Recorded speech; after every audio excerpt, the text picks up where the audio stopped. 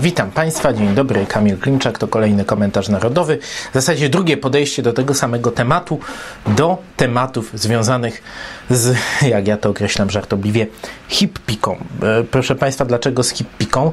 Bo pochylimy się nad e, krętymi bardzo w obecnej sytuacji politycznej ścieżkami e, znanego warszawskiego mecenasa, Romana Giertycha, zwanego przez niektórych złośliwców całkowicie złośliwie i bezpodstawnie koniem. E, dlatego tematy hippiczne. No cóż, proszę Państwa. E, jak to y, powiedzieć. No, historia jest dość długa, ale postaram się ją w taki skondensowany sposób przedstawić. Roman Giertych, jak wiemy, prawda, polityk z pewnym bagażem, no, rodzinnym nawet.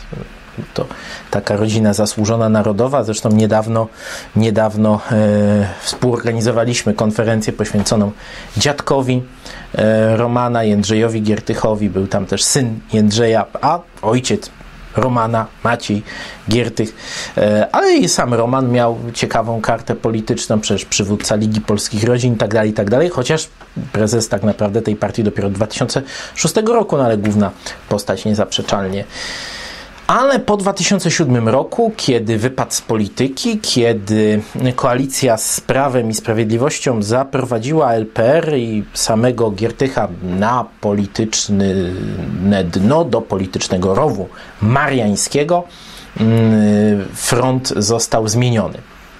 Front y, y, coraz bardziej Romana Giertycha przybliżał się do Platformy Obywatelskiej i jednocześnie e, rosła w nim chorobliwa nienawiść do PiSu i e, chęć powrotu do władzy. Można powiedzieć, można chyba sformułować, pokusić się o taki wniosek, że Roman Giertych to jest chyba na władzę chory.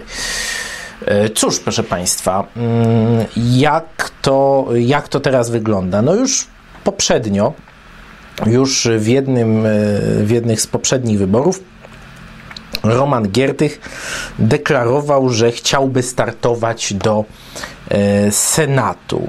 No akurat e, e akurat e, w, wtedy, wtedy nie wyszło. W 2015 no, wystartował, e, ale nic z, tego, nic z tego nie wyszło. Przegrał z późniejszym ministrem zdrowia Konstantym Radziwiłem. E, no była, w ogóle tam była ciekawa mm, konfrontacja, bo przecież jeszcze e, Monika Płatek z Lewicy, w ogóle ciekawe, ciekawe zbiorowisko w takim okręgu podwarszawskim, tam na południe od Warszawy. No, e, potem Giertych w 2019 już nie podejmował, co prawda, prób wyborczych, ale no oczywiście na przykład w 2020 wsparł Szymona Hołownię, no i tam się udzielał często, no przecież będąc adwokatem tych ludzi związanych z opozycją i tak dalej, i tak dalej, no to naprawdę, naprawdę jest jest, robi się ciekawie. Natomiast, no jak wiemy też oczywiście prokuratura e, stawia mu zarzuty. Giertych w ogóle przebywa obecnie we Włoszech, gdzie się chroni właśnie przed działaniami prokuratury. No ale, proszę Państwa, mniejsza z tym. Pakt senacki w poprzednich wyborach, jak wiemy, zapewnił lidze, boże, lidze, no, już opozycji, no przepraszam, freudowska pomyłka, no jak mówimy o długim romanie o koniu, no to czasy ligowe wracają. Mm, totalnej opozycji zapewnił większość w Senacie, no i teraz ma być powtórka. No i różni tam kandydaci w ramach tego paktu senackiego mają startować. Y, no i proszę Państwa, mm, y, Roman Giertych ogłosił, że on też będzie startował. Wybrał sobie nawet okręg, okręg obejmujący powiat poznański. To są te miejscowości wszystkie pod Poznaniem, nie sam Poznań. Y, jego okręg rodzinny, bo stamtąd pochodzi, no jego ojciec nadal mieszka w miejscowości Kurnik pod Poznańskiej. No, natomiast na czym polega dowcip?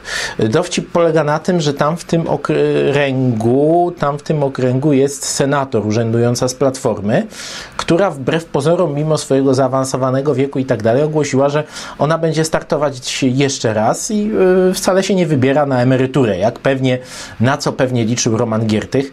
No pewnie też przekonano ją, żeby nie szła na tą emeryturę, bo generalnie ludzi, z tego co wiem, z Platformy Obywatelskiej Wielkopolskiej e, wiele dzieli, ale nienawiść do Romana Giertycha łączy. No i proszę Państwa, zaczęły się targi. W ogóle e, Ktoś musi zgłosić też kandydaturę Giertycha, tak, z sygnatariuszy paktu, a tam, tak jak pamiętam, jest Lewica, Platforma, e, PSL, Hołownia, no i właśnie miał być to kandydat Hołowni, który jest teraz zblatowany z PSL-em w ramach tej tak zwanej trzeciej drogi. No i proszę Państwa, nie wiem, e, nie wiem, e, co to miało być, bo Najpierw Szymon Hołownia mówi, że zgłosił Romana Giertycha e, do, jako kandydata do Senatu. Potem dostajemy informację, że to nie jest kandydat Polski 2050, a potem przyjęto taką bardzo dziwną konstrukcję. Roman Giertych nie jest kandydatem Polski 2050 ani trzeciej drogi, tylko jest zgłoszony przez Szymona Hołownia jako kandydat niezależny. Na takiej zasadzie, jak chociażby ma kandydować w ramach Paktu Senackiego, dajmy na to Adam Bodnar czy Ryszard Petru, wybitny masakrator e, Sławomira Mencena. E, proszę Państwa, no i jest zamieszanie, jest naprawdę poważne e, zamieszanie. E, co będzie dalej, to tego jeszcze nie wiemy. Możemy się tylko domyślać. Ale e, pojawiły się takie informacje, że prawdopodobnie Roman Giertych nie dostanie tego łatwego okręgu, jak sobie myślał, że dostanie podpoznański, czy nawet ten okręg, którym wtedy startował, ten warszawski 41, mm, to by wcale nie był taki mm, podówczas najgorszy. No, natomiast, y, natomiast y, akurat y, tego mu Platforma i większość opozycji, a zwłaszcza Lewica, nie da. E, no, pojawiały się takie, no, że Roman Giertych w Pakcie Senackim, oczywiście, ale lepiej gdzieś na Podlasiu, na Podkarpaciu, tam, gdzie są okręgi w sposób oczywisty nie biorące, gdzie weźmie PiS. No i pojawiła się propozycja, żeby zesłać konia do Konina. To brzmi tak śmiesznie. No, y, proszę Państwa, y, problem jest taki, że w okręgu konińskim Platforma wygrała do Senatu na trzy wybory. Raz w 2011 przy rozbiciu jeszcze głosów opozycyjnych. A teraz już ósmy rok y, mandat tam sprawuje kandydatka PiSu, pani Margareta Budner, która wygrała dość znaczną przewagą w poprzednich wyborach z jedynym swoim kandydatem z Platformy Obywatelskiej. Pani Margareta, co na marginesie chcę zauważyć, i tylko na marginesie jako ciekawostkę przyrodniczą, jest córką mm, byłego posła samoobrony Alfreda Budnera. E, może Państwo pamiętacie, ja akurat słabo, e, ale była taka postać. I e, no, nie jest to wcale okręg gwarantujący wybór, tym bardziej, że jeśli Roman Giertych będzie prowadził kampanię wyborczą, przebywając we Włoszech, a nie w okręgu wyborczym, to ja, proszę Państwa, jednak czarno to widzę. Czarno to widzę, no bo w takim okręgu właśnie poznańskim on mógłby siedzieć w tych Włoszech, za dużo nie robić, wysłać sobie, opłacić, opłacić plakaciarzy, no i w zasadzie spać spokojnie. Tutaj wcale tak łatwo nie będzie. No proszę Państwa, jaki jest z tego morał? No morał bynajmniej nie jest taki, że politycy opozycji tam nie chcą być jak Kaligula, który 2000 lat temu wprowadził konia do Senatu. Bynajmniej nie o to chodzi. Akurat myślę, że gdyby to im dawało jakieś korzyści polityczne, to politycy opozycji współczesnej by wprowadzili całe stado koni do Senatu i w ogóle by się tym nie przejmowali. Natomiast no, Roman Giertych też, jak wiemy, nie jest jedynym oczywiście kandydatem w takiej sytuacji. Nawet mam wrażenie, że i na listach Konfederacji się znajdują tacy, którzy bardzo potrzebują immunitetu parlamentarnego.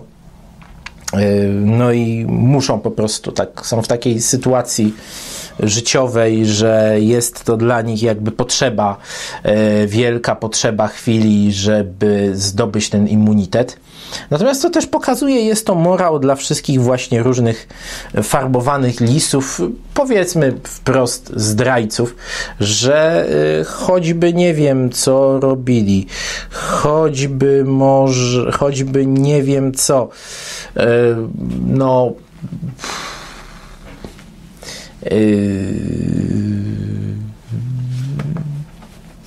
nie wiem, jak długi okres pokuty i przekonywania o tym, że zmienili poglądy, że ci. Mm, że ci starzy oni to już, to już nie istnieją, że teraz narodził się nowy Giertych, czy tam nowy ktoś, to oni po tej stronie lewacko-liberalnej będą zawsze spaleni, bo oni reprezentują, zwłaszcza no, z takim bagażem, jaki ma Roman Giertych, takim radiomaryjno-patriotyczno-bogojczyźnianym, reprezentują wszystko, czego ci ludzie nienawidzą i nie będą nigdy zaakceptowani, nigdy nie będą ich ludźmi.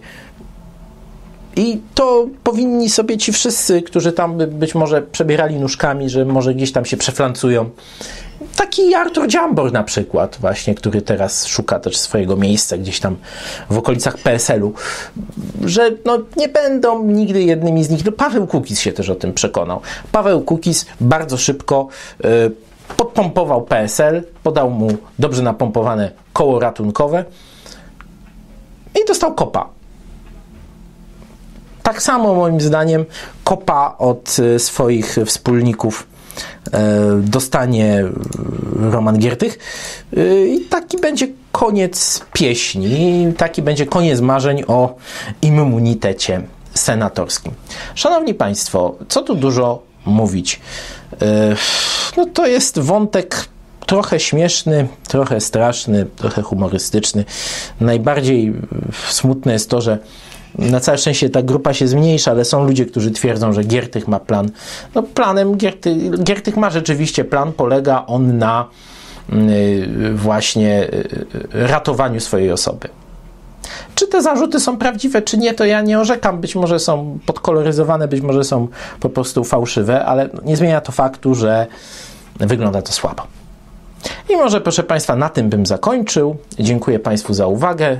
E, sytuacja galopuje, więc będziemy ją śledzić. Dziękuję za uwagę. To wszystko. Zachęcam do łapek w górę, subskrypcji, komentarzy, do wsparcia kanału. Dziękuję za uwagę. Do zobaczenia.